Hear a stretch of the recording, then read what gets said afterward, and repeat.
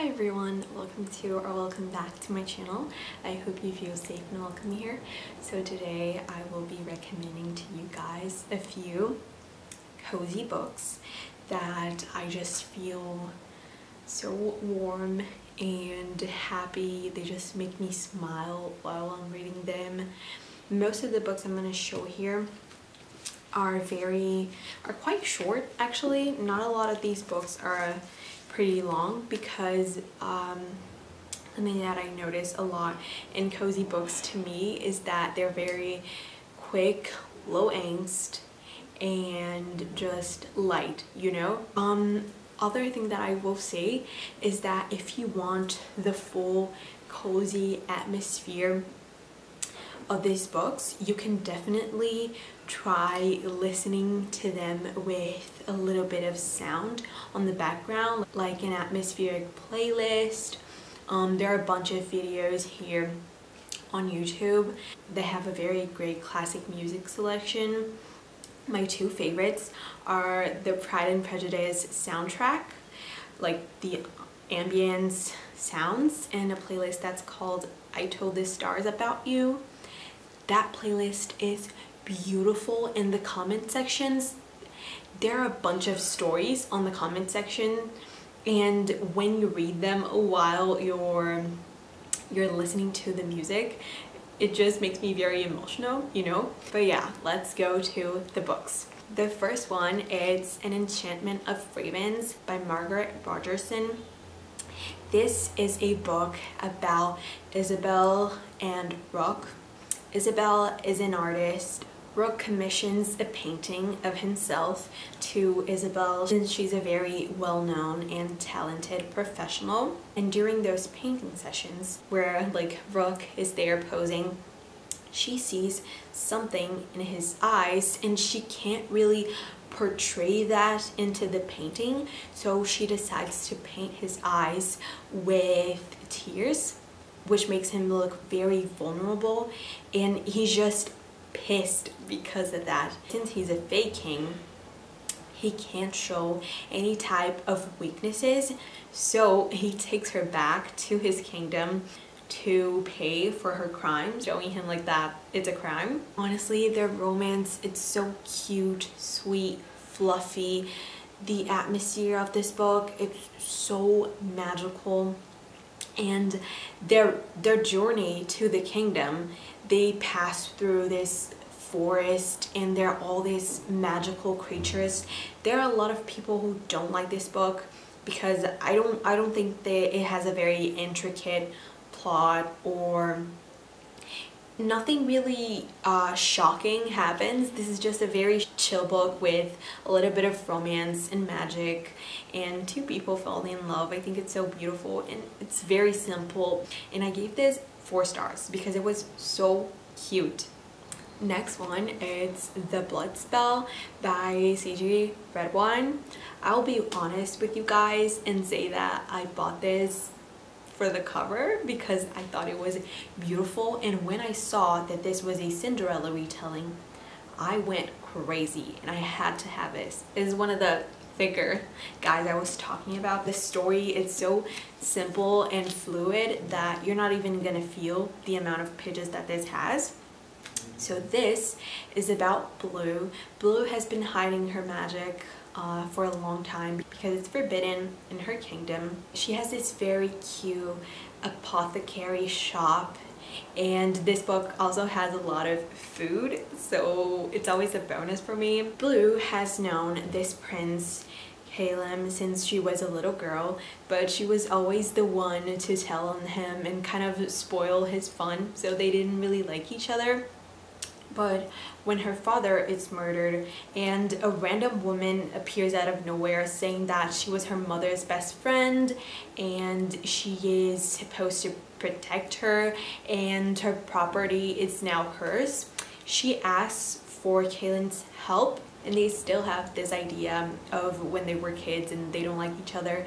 But when Kaylin starts helping her and they spend more time together knowing each other you know these this other version of each other they're more mature now they're older they become very good friends because they see that they have a lot in common. It becomes this beautiful, fluffy romance. I just love this so much.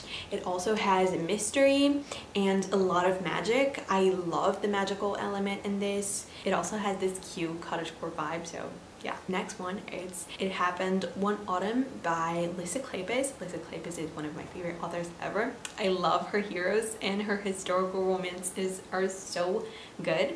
I wanted to start by saying that this book, it's the second book on the Wallflower series, but you can totally read this one without spoiling the other book. There really aren't a lot of spoilers on this one and I'll be honest with you guys and say that this one, the second, and the third one are my favorites so I don't think you're gonna be losing a lot if you don't read the first book and read this one first. Like don't skip the first book because it's still good.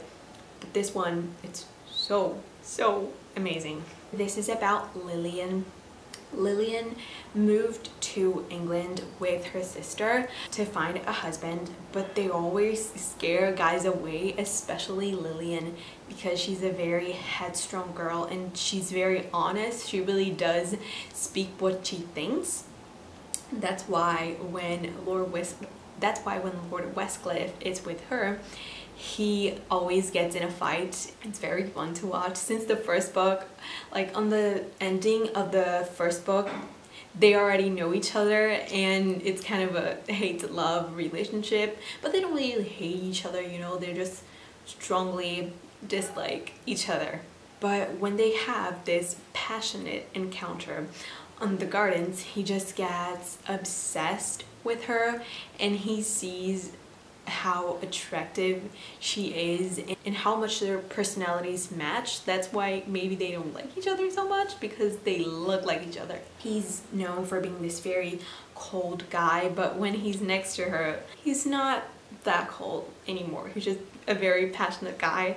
Westcliff has this fascination with butterflies. He's very intelligent. He has a beautiful garden full of butterflies and flowers and it just sounds so magical and just the fact that this is set in autumn, it's cozy. So fourth one, I think it's the fourth one, it's The Duchess Deal by Tessa Dare.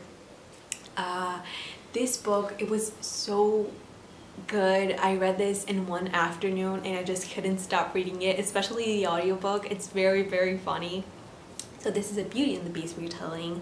We have the Duke of Ashbury. He just came back from the war and he's not only physically scarred, he's also psychologically scarred. He was actually engaged, uh, but when he came back from the war, his wife, she threw up. She just couldn't look at his face and see his scars. So because of that, he's very insecure about him but he still wants an heir so for that he needs a wife and he finds the perfect one when Emma just breaks into his library dressed in a wedding gown. He has a few rules for that marriage to work and he doesn't really want uh, a friend, anything. He just doesn't want any contact with her because you know he's a scarred hero. He doesn't want to be next to her, but it's a romance book so we know he will. So he has these rules that are basically meant to keep her distant from him, but she also has her rules. But each day that passes, she can't help but fall deeper in love with him because she really sees the man behind all this hard, cold facade that he puts on every day. He was just so hurt and he doesn't want it to happen again, so he just pretends that he didn't have any feelings. This was honestly so beautiful and funny. I just loved Tessa writing on this book, so if you haven't read it yet and you like historical romances, definitely give this one a go. So guys, those were the books. We have a little bit of fantasy, historical romance, contemporary romance, but all of them just make me feel good and cozy, safe, happy. That's why they're all on this list. So make sure to give them a go, you know, just to make you feel happy. But yeah, those were the books. I hope you guys like this video. If you want to see more of my content, please make sure to subscribe, like this video, It would help me a lot. And yeah guys, I will see you on the next one. Bye bye.